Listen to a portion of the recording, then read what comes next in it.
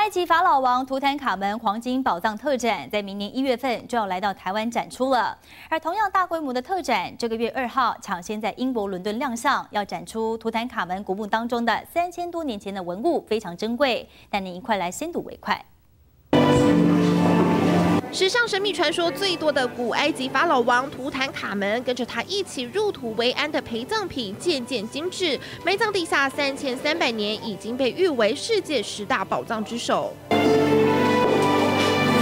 为了纪念将近一百年前，一九二二年，英国考古学家卡特在埃及帝王谷发现图坦卡门千年古墓，英国伦敦萨奇美术馆特别举办图坦卡门黄金宝藏特展，十一月二号开幕，展出六个月。This one, for the first time, Egypt allowed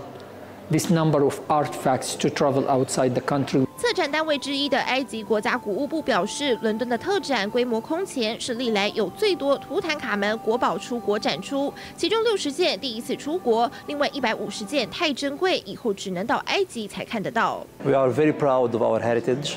and we do believe that it's a humanity heritage. And you have to share it with the whole world. 特展文物的亮点包括图坦卡门的木棺以及许多精致的雕像，虽然有些是复制品，但都是根据真实文物一比一使用相同素材精工雕琢而成。All of this still excite the people, and I really, as an archaeologist, I wrote. More than 16 books about this king, and every time there is something new. 其中一件站在猎豹上的图坦卡门雕像，以及在伦敦特展缺席的图坦卡门黄金面具，明年一月都会来台北展出，让图坦卡门黄金宝藏特展更有看头。杨正平编译。